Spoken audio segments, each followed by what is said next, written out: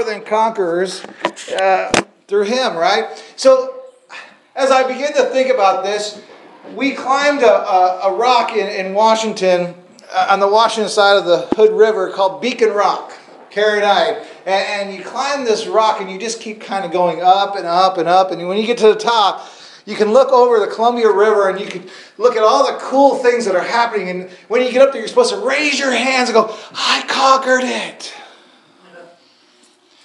Yeah, I was very tired. I don't think I could raise that my hands at that moment. It was pretty exhausting. When I was beginning to research this series, I looked for pictures of conquerors, and you won't believe who came up. Arnold Schwarzenegger. A picture of Arnold Schwarzenegger. He was Mr. Universe.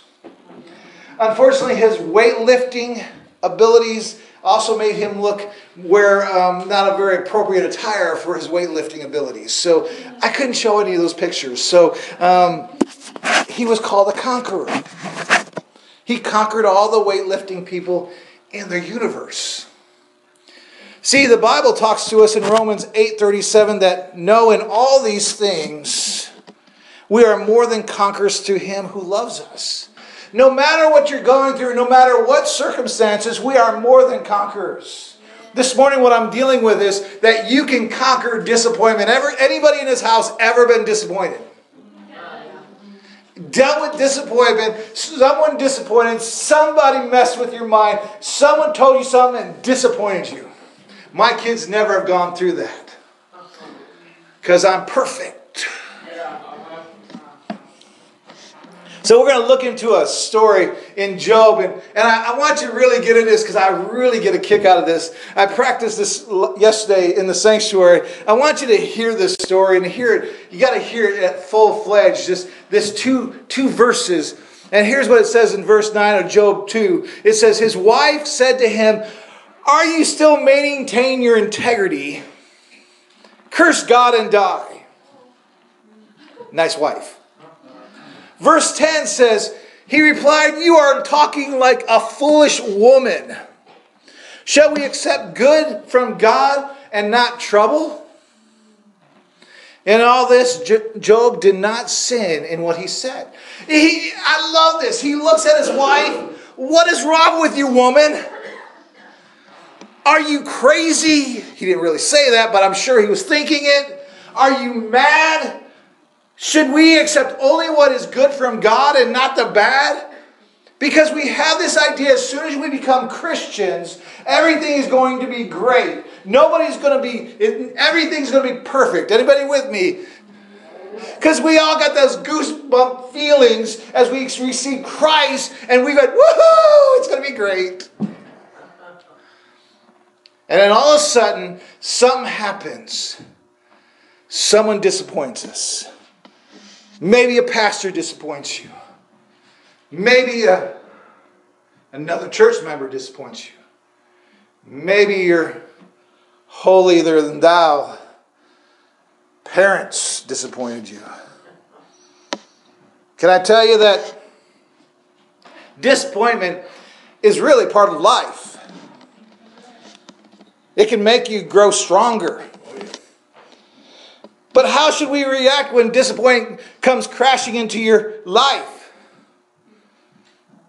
See, we look at Job's experience and we see how we should react, how we, we should look at this idea of how we should react to this disappointment.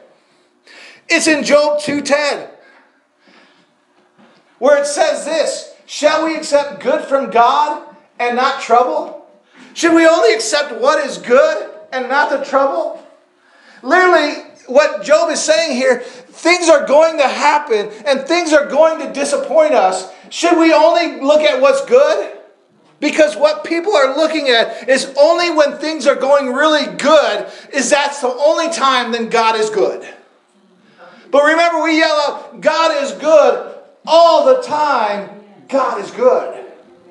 Either we believe it or we don't. I believe God is good. But then we look at the very, very fact that what Job's wife said when things get bad, she says, You should just curse God and die. She didn't have much faith, did she? Even, even Job's friend says, What have you done towards God? What did you do? Maybe you should go ahead and kill yourself. Pretty much. Here's the very deal that's going on here. I see this picture. Job literally lost everything. So he's sitting under a tree. This is the picture with his friends. He's sitting underneath a tree. He's scraping the sores. Feels good, right? Because it's, you know, itchy, itchy. And, and his friends show up. Hey, bro, what's going on? What is wrong with you? Oh, we got to take a time out minute, minute because I forgot something. We are refiguring Children's Church right now.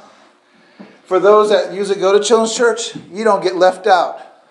Each one of you guys, right now, it's Darren and Emlyn. You don't have to really listen to me this morning. You get a tabletop activity sheet, crayons, and a snack. But you got to sit here and listen to me scream at the everyone else. All right. That's children's church till we re reconfigure. But tell me, I'll tell you, there's something on the way. All right. So here's here's Job with his three friends, and he's scratching at his sores. You can't have them, Don. Oh, Man, you're too old. Anyways, he says, Job's wife in 2 9 says, Curse God and die. See, sometimes in circumstances, we say, well, things are not going well, so we might as well jump ship, right? Things are bad, so God must not be for us, He must be against us. That's not the truth, because God is always there with us. No matter what's going on, no matter what disappointment is happening, God is there with us. When you lose it, when you feel disappointed, when you feel God has left you, He's right there with you. As I was thinking through this, and I kept on researching, and, and, and I read an article, and they brought up two ideas. And I, and I wish I could tell you where I found this out. I don't have a, I didn't write down the place, but it's not mine. But it gave two options before us. Number one, the clay response and the wax response. It says in Job 2 9, in the King James, it says, Then said his wife unto him, Dost thou still retain thine integrity? Curse God and die. I love that curse God and die is straight across the, the, the, the line. See, the clay response is this if it doesn't go my way, I'm going to fall apart. I'm going to crack and fall apart. And in fact, because it, I'm so disappointed, someone disappointed me, it's going to stir up an offense with me. And I'm going to hold that offense. I'm going to blame somebody else for what's going on in my life. There's a book called The Bait of Satan, Satan that actually talks about that, which is the thorn the offense. The clay response says, Man, someone disappointed me. I'm going to hold this against them. And everything that goes wrong from here on out is their fault. In fact, you know what? I'm going to blame God. Because whatever's happening in my life, my life is shattered like a clay pot. Anybody ever been there? How'd you fix it? You had to get back to the altar. Yes, that's right. You had to come back and realize that God is still on the throne. See, the fact is, Job's wife says this one thing you hold on to your integrity. Do you still have your integrity?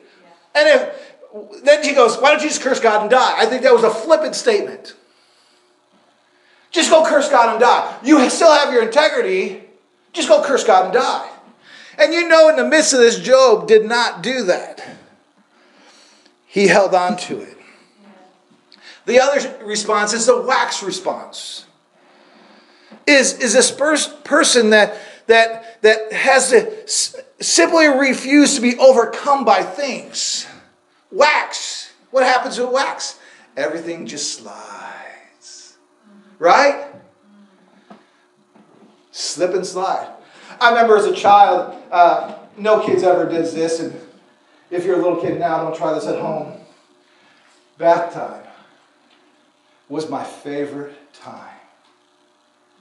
As a water drained from the tub, I used to soap up the bottom of the tub,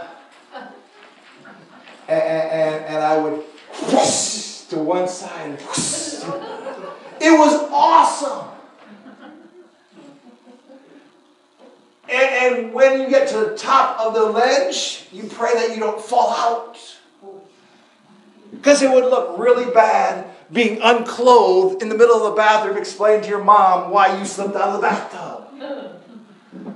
It was so much fun. I would do that for another 15 minutes after my bathtub time. But see, that's like our wax response. Sometimes things we accept that disappointment is going to happen.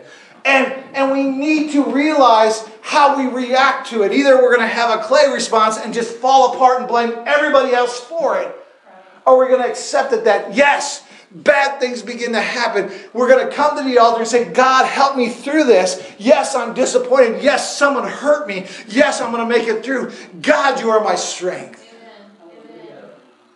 Job 19, 25 and 26 says this. It says, For I know that my Redeemer lives. Liveth. This is King James for all you, you happy folks here. And that he shall stand at the latter day upon the earth. And though after my skin worms destroy this body, yet in my flesh I shall see God. See, he says this. He says, No matter what happens here on earth, I will soon die, but my body will praise God. The end result is my, my end result will ultimately praise God.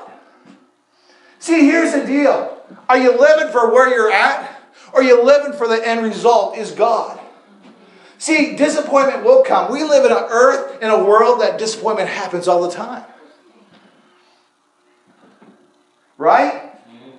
Things don't happen every time that you want them to happen, right? People disappoint us. Things disappoint. Things sometimes don't go the way it happens. Amen. How we react can be like little Timmy in the bathtub. Let it slide. Let it glide. You'll get through it. Have faith in Christ. Number two, some great examples. What do you do if you have lemons? You make lemonade, right? You look, look at the bright side of the, what's going on. You know, you know, there was a great example in the Bible of someone who made lemonade. His name was David. He says this in Psalms 34 1. Look at this passage of scripture. It says, I will bless the Lord at all times. You know, come on. Bless the Lord at all times. How many you know sometimes that's pretty difficult to do? To bless the Lord at all times? Man, I'm so excited. My car broke down. I will bless the Lord at all times. I stubbed my toe. I will bless the Lord at all times. My computer broke. I will bless the Lord at all times. My checkbook is empty and has 12 cents in it. I will bless the Lord at all times. I'm sick today with the flu. I will bless the Lord at all times. When we begin to turn it around and we begin to look at the situation, the praise will give us, give us strength to get through the disappointment. Because disappointment, and I'm not just sugarcoating it, disappointments will happen. And how we react to it will really help us through. When I used to get disappointed in my parents, I used to make this statement. Maybe you guys have never done it because you never get disappointed or everything goes well with you. I used to go, Mom and Dad, nobody likes me, everybody hates me, I might as well sit in the garden eating worms. Come on, nobody ever eats worms. You might sit in the garden is because you're just having a whining session. Right? The very fact is sometimes we get disappointed and we get into a whining session. And we say, okay, we'll get through it. My very challenge for you this morning is when life gives you lemons, make some lemonade.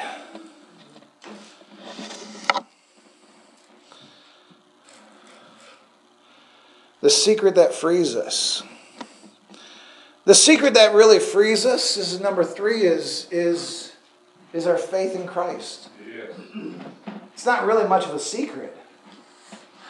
The Lord is our strength, and He gives us strength to get through.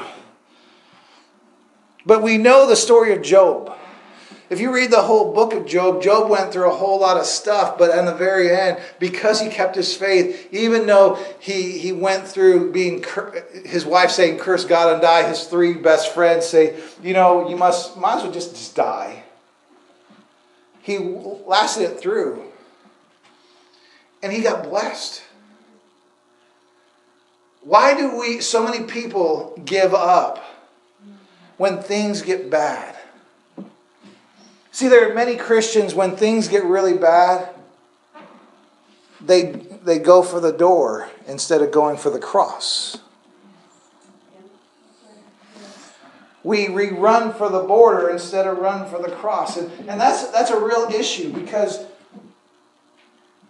what the world has to offer us is really no security at all. What the cross offers us is eternal life. God never promised when you became a Christian that everything was going to be hunky dory.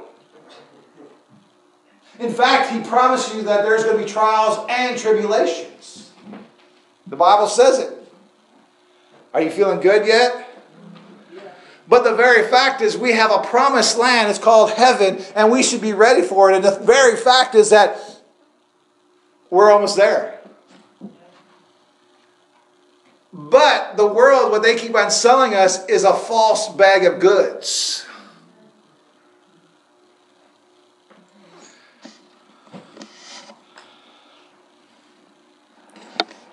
I don't know what, your what disappoints you the most.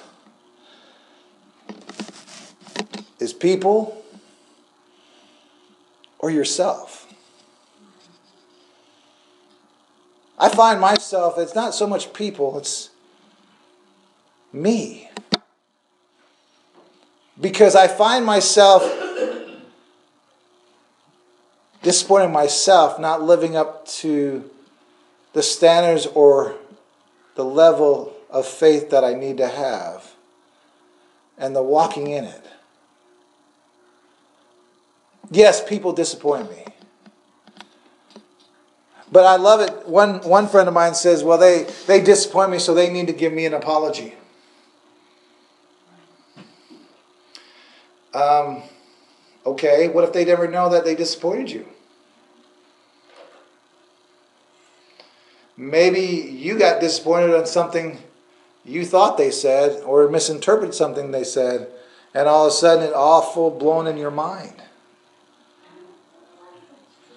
So, how do you react to that? How you hold offense to that person and they don't know it?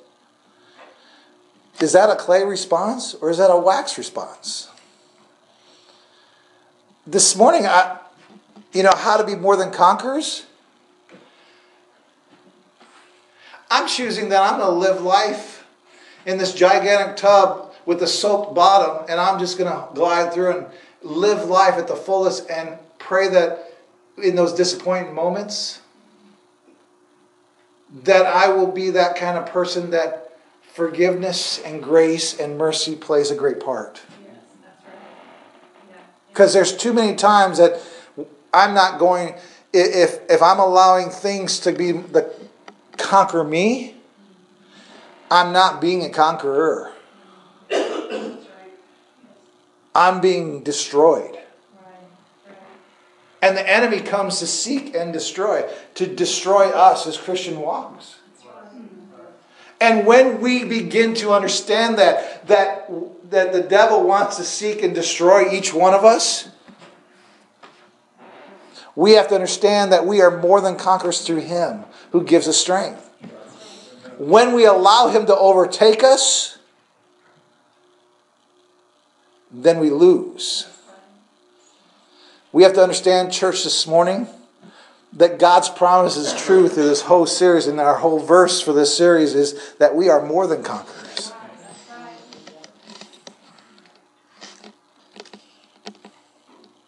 Even when you feel abandoned by God, you need to remember that the feeling and the fact are not the same thing. If in times of difficulty you feel that your prayers are not getting above the ceiling, don't worry, God can come down below the ceiling. God is not deaf. He has not abandoned us. He is not limited. He is working silently and redemptively no matter what. So when life comes crashing in, don't give up in despair. Don't become angry at God. Don't feel sorry for yourself. Don't let bitterness concerns consume you. Fight these attitudes and temptations of your heart. When disappointments seem to engulf you, say with Job, For I know that my Redeemer liveth, and that he shall stand at the latter day upon the earth. And though my, my skin worms destroy this body, yet in my flesh shall I see God. How amazing is that? Our scripture says this. The series scripture says this in Romans 8:37. No. In all these things we not I, we are more than conquerors through him who loved us. We have the winning statement. We can do this. How are you doing today? I believe that every sermon demands a response. I believe a message demands a response. If everyone bow their heads and close their eyes, please. This is between you and the Father. If you're here this morning and you're saying, well, how can I be a conqueror if I don't know him? If I don't have a relationship with him? Well, here's the opportunity. The Lord says that you can be more, more than a conqueror in Him. Who's Him? That's Jesus Christ who went to the cross for your very sins. It, it says in, in Romans that we have all sinned, fallen short of the glory of God. That means that you're in the midst of sinners. But then later in that chapter, in that book, it says that we all have been saved by grace. And the very fact is that grace is what's, you know, His love, that grace has saved us. And so that, that free gift that we find back in John 3.16, that eternal life, is yours. But it takes the act of repenting, confessing your sins, and saying, I need you. So this morning, before we move to the second part of the, uh, the altar call, is, is this. If you're here this morning and you don't know Jesus Christ as your personal Savior, and you're ready to say, I need Him, I want to accept Him if you just stand to your feet and say, That's me.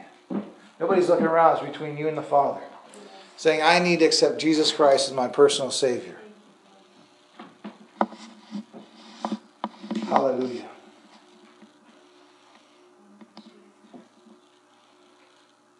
I just give you a few minutes, a few seconds to respond.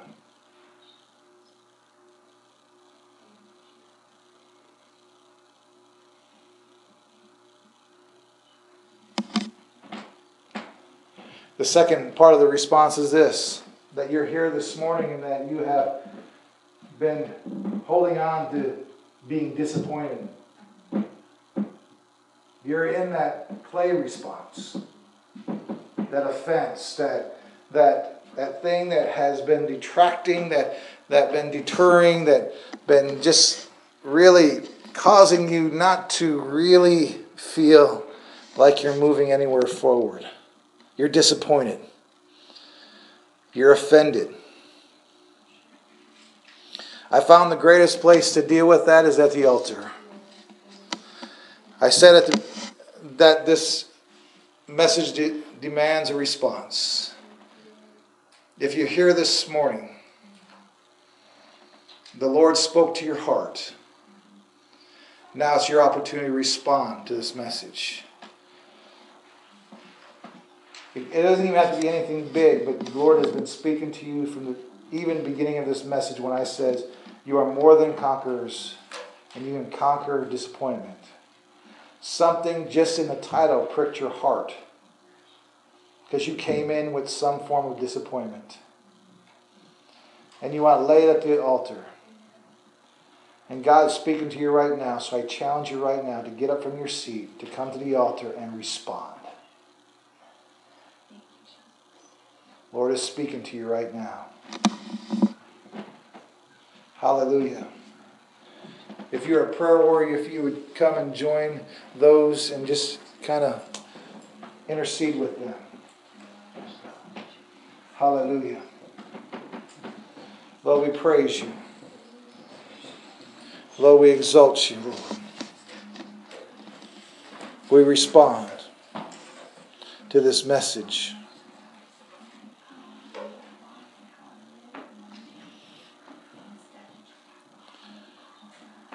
You've been offended. You've been dealing with offense. You've been holding it in your heart. And you want to be set free and delivered from that. Hallelujah.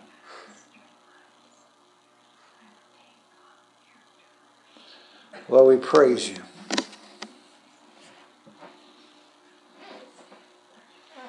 It's time to be more than a conqueror. It's time to be free. Time to be delivered. Hallelujah.